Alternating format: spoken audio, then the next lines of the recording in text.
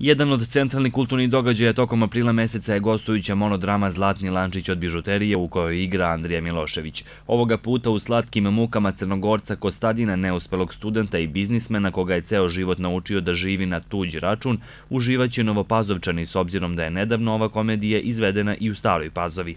Očekujemo i ovde dobru posetu, cena ulaznice je 800 dinara i kažem, nadam se, to je 18 aprila u 20 časova u Domu kulture u Novoj Pazovi. Stara Pazova dobija i dva nova festivala, i to muzički Pazoviziju i prvi međunarodni festival Bećaraca. Filmađije će biti u prilici da tokom aprila pogledaju nekoliko poznatih naslova kao što su Petar Zec, Patuljci uzvraćaju udarac i Cvrle nikad ne letiš sam, kao i filmove Stranci Plenu noći, Crveni igrač broj 1, Nevesta i Razjarenost. Tokom aprila ljubitelji slikarstva, pored izložbe fotografije o ruskim emigrantima i njihovim potomcima u Sremu i Sremskoj Mitrovici, mogu pogledati izložbu Staropazovačkog udruženja likovnih umetnika kao i izložbu slika Marijana Karavle. To je novi ciklus koji sam započeo prošle godine u maju i evo tačno godinu dana će biti sad kako ovaj, radimo ovaj novi ciklus. Znači, pomerio sam malo iz onog svog nekog, ljudi su znali taj moj neki abstraktni ekspresionizam koji sam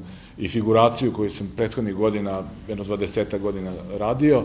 Evo sad to sam malo sveo na neku eh, na neki minimalizam ili na geometrijsku abstrakciju. April mesec donosi i premijeru predstave Pokondirena tikva, koju će 15. aprila u Novoj Pazovi izvesti članovi amaterskog pozorišta Mirko Tatalović-Ćira, kao i premijeru dečije predstave Novobanovačkog dramskog studija Neću da platim i nemam da platim. Tokom ovog meseca realizovat će se i dečija opštinska i zonska smotra folklora, a 22. aprila nastupit će članovi folklornog ansambla Klasije na godišnjem koncertu.